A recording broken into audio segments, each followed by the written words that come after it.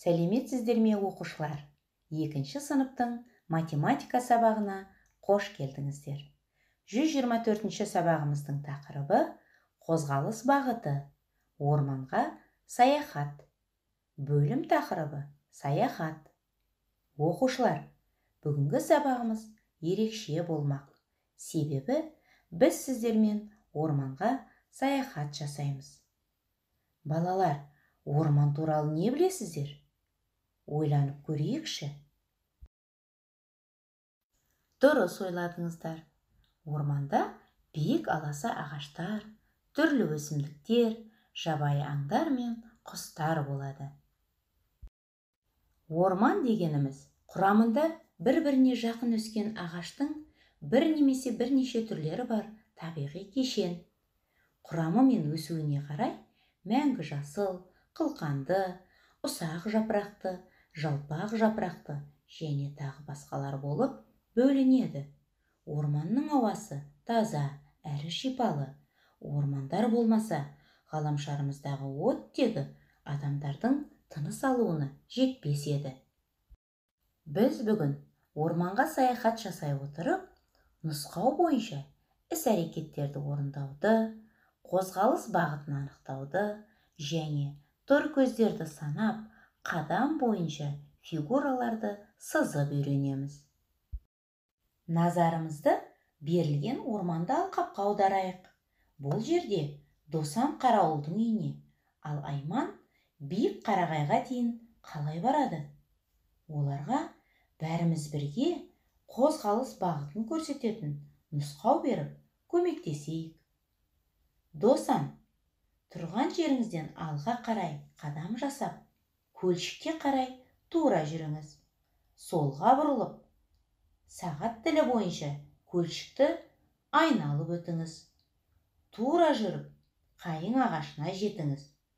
Қайың ағашының жанынан солға қарай 5-6 қадам басасыз да солтүстікті бетке алып тура жүріңіз. Қарауылдың үйіне жеттіңіз. Ал енді айман. Он шақты қадам алға жүріңіз. Оң жаққа бұрылып саңырауқұлақ өсіп тұрған алқапты айналып өтіңіз. Әрі қарай тастарды жағалап тура жүріңіз.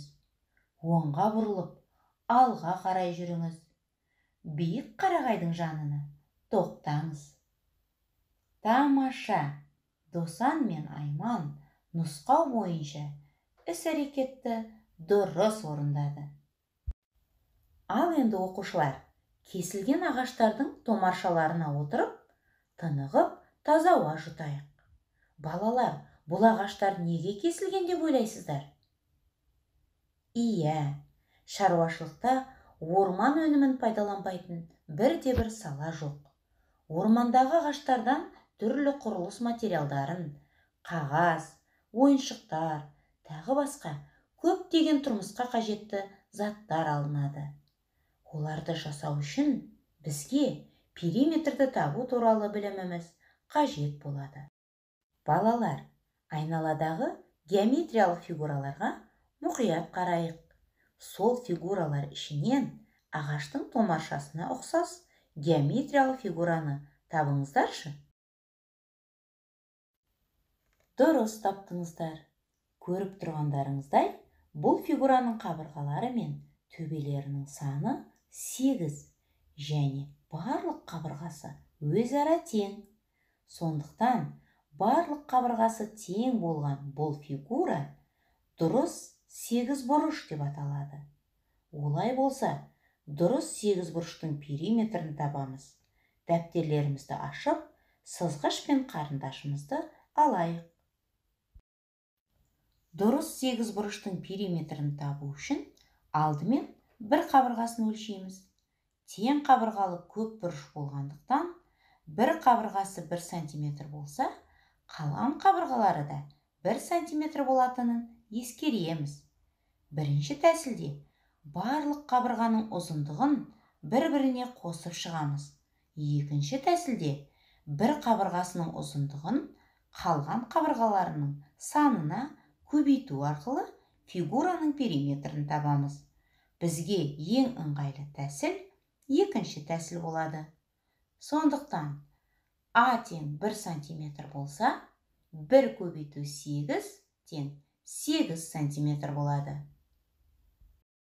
Енді өткен сабақтарда үйренген фигуралардың периметрін табу формулаларын қолдана отырып шаршы тіктөртбұрыш және үшбұрыштың периметрін өздеріңізге тиімді тәсілмен есептеп табыңыздар.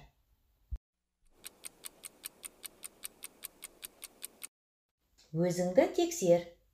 Шаршының барлық қабырғалары тең болғандықтан бір қабырғасының ұзындығын барлық қабырғаларының санына көбейтеміз.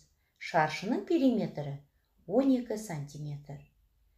Бұрыштың қарама қарсы қабырғаларының ұзындығы өзара тең болғандықтан ені мен ұзындығын қосып екіге көбейтеміз. Немесе ені мен ұзындығын екіге жеке жеке көбейтіп алып бір біріне қосамыз бұрыштың периметрі 12 сантиметр шығады. Ал тең берілі бұрыштың екі қабырғасы өзара тең болғандықтан бірдей қабырғаларының ұзындығын екіге көбейтіп үшінші қабырғасының ұзындығын оған қосамыз. Немесе барлық қабырғаларын бір біріне қосып шығарамыз. Берілген үшбұрыштың периметрі 8 сантиметр. Тамаша. Барлығымыз дұрыс орындадық деп ойлаймын. Балалар ормандағы саяхатымызды жалғастырайық. Орманның қандай мекендеушілерін білесіздер? Әрине орманда қасқыр аю түлкі сияқты жыртқыш аңдар мекендейді. Ендеше дәптерімізге қасқырдың графикалық суретін салайық. Алайда оқулықта нұсқау толық берілмеген. Нұсқаудағы цифр торкөздің санын ал меңзер қозғалыс бағытын білдіретінін есімізге түсіріп нұсқауды тігінен оқи отырып бірге жалғастырайық. Оқулығымызға қарап нұсқау тоқтаған жерден әрі қарай қадамдарымызды жазайық.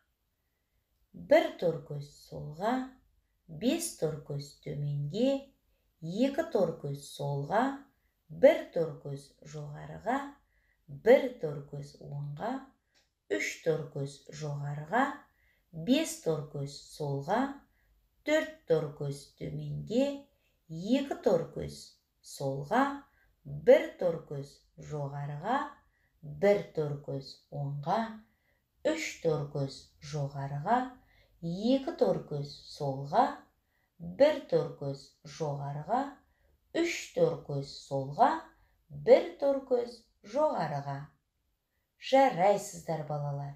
Қасқырдың суретін талапқа сай сыздық деп ойлаймын ал енді аюдың графикалық суретіне қарап нұсқауды өздеріңіз жалғастырып жазыңыздар. Өзіңді тексеріп көр. Өте жақсы орындағандарыңа сенімдімін. Балалар саяхат барысында кездесетін түрлі кедергілерге дайын болу үшін қисынды ойлау дағдыларымыздың да дамуы өте маңызды. Сондықтан да мына суретте неше тік бұрыш барын тауып көрейік.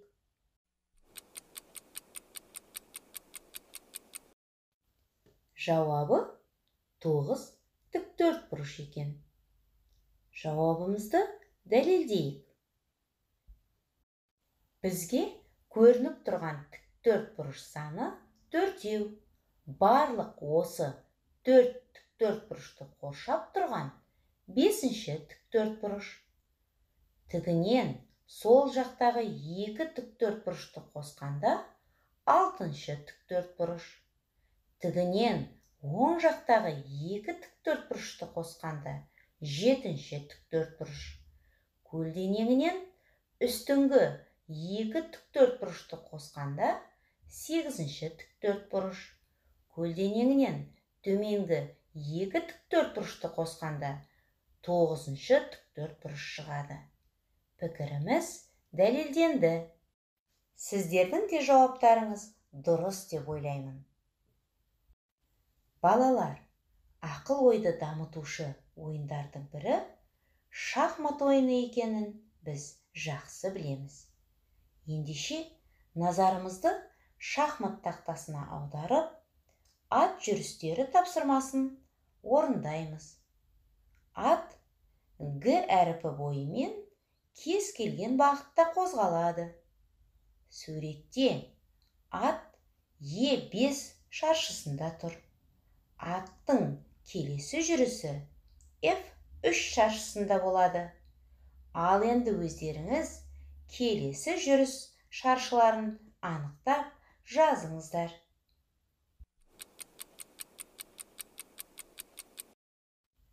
Балалар өз жауаптарыңды тексеріп көріңіздер. Барлықтарыңыз аттың келесі жүріс шаршыларын дұрыс тапқандарыңызға сенімдімін. Сонымен бүгінгі сабақта үйренгендерімізді есімізге түсірейік. Орманға саяхат жасай отырып нұсқау бойынша іс әрекеттерді орындадық. Фигуралардың периметрін таптық. Нұсқау бойынша графикалық сурет сызып нұсқауды жалғастырып жазып үйрендік. Қисынды ойлау дағдыларын дамытушы тапсырмаларды орындадық. Саяхат барысында орманның баға жетпес халық байлығы екеніне көз жеткіздік сабағымызды қорытындылай келе саяхатымызды аяқтап орманның бізге берген сыйын қабыл алайық. Бүгінгі тақырып толықтай түсінікті болды десеңіз саңырауқұлақ толтырылған үлкен себетті таңдаңыздар.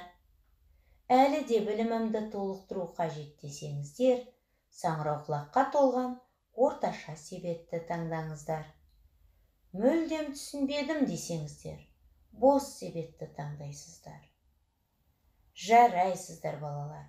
Барлығыңыздың саңырауқұлаққа толған үлкен себетті таңдағандарыңызға кәміл сенімдімін. Осымен сабағымыз аяқталды. Сау болыңыздар.